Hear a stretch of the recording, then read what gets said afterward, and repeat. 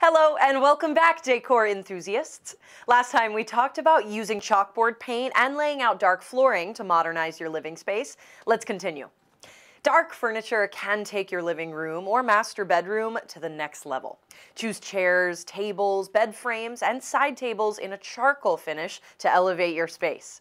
Black beams and cloudy glass light fixtures can add a modern and romantic touch throughout your home. Thanks for watching, and learn more about how you can revamp your home with a personal decorator from Decorating Den Interiors today.